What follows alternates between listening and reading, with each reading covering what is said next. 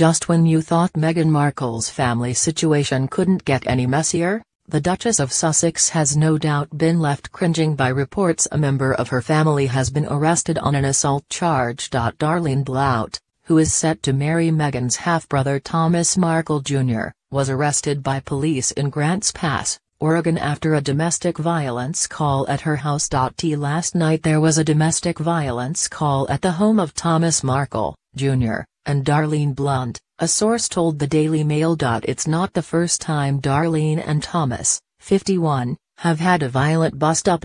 In January 2016, Thomas was arrested following an incident with Darlene, where he reportedly held a gun to her head during a drunken row. He was taken into custody, and charged with menacing, pointing a firearm at another person and unlawful use of a weapon. The couple were also involved in another altercation when police were called to their home on New Year's Eve.